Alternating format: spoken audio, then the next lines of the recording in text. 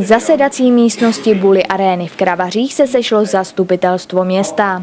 Na programu bylo mnoho bodů, na které členové zastupitelstva vyjádřili své názory formou hlasování. Po záležitostech týkajících se chodu Kravař byli vyznamenáni a oceněni pravidelní dárci krve. Na dnešním zastupitelstvu jsme opět po roce přivítali naše občany z Kravař, kteří byli úspěšní dárci krve. Dnes jsme ty dárce ohodnotili a odměnili.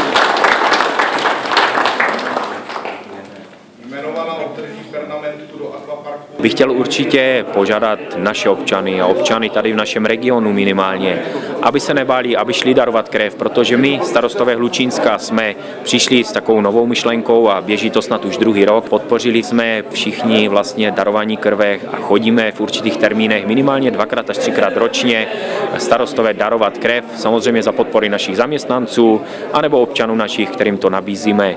Takže pokud by to šlo, darujte krev. Před místo starostu a starostu města přistoupilo několik občanů, kterým není lhostejný osud jiných. Je tady člověk, místní, pan Pavlík, který má 129 odběrů. Když si to spočítáte, to je úžasné číslo. Já myslím, že kdo, kdo je zdravý, tak by mohl dát. No. A člověk je i trošku kontrolovatelný, jestli je zdravý nebo není, protože tam se berou různé odběry a vím, že mám dobrý tlak a různé věci, takže já myslím, že člověk se i tak trošku jistí. To není jenom krev, jako já dávám převážně plazmu a to je něco jiného. Plazma se dává víckrát za rok než krev. Krev můžete dát jenom čtyřikrát, ale plazmu můžete dávat víckrát. Za svou bohulibou činnost obdrželi od města věcné a finanční dary. Podměnili jsme je pernamentkou v hodnotě 2090 korun, včetně DPH, do akvaparku vstup. Dostali taktéž finanční ocenění podle toho, kolik těch eh, vlastně odběrů již bylo, kolik